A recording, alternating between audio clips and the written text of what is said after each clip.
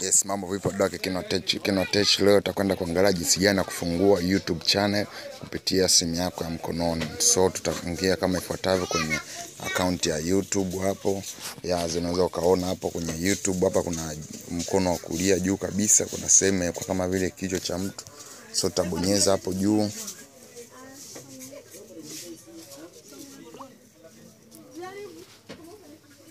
Ya kama unavyoweza kuona hapo ukibonyeza hapo inakuja na kuonyesha. Ya nakuonyesha my channel. Kwa hapo, inabidi ubonyeze my channel ili uweze kwenda kwenda ku create channel.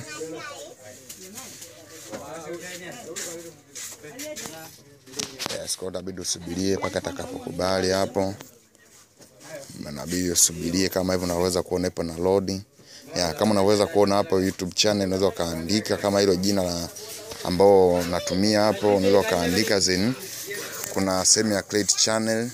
So kwa njia nyepesi uta create channel hapo ya then itakuwa umefanikisha ku create. Kama unavyoweza kuona hapo, tuta create channel. Yes, kama una kama unavyoweza kuona hapo tumesha create channels, then channel yetu ndio hii.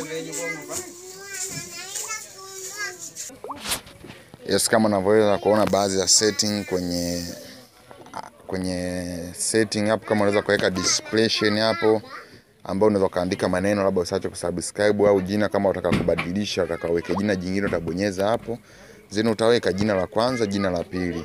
So kama unataka uweke Azam TV utaandika kama hapo unavyoweza kuona Azam, afu hapa utamalizia chini TV, au kama unataka uweke uweke michuzi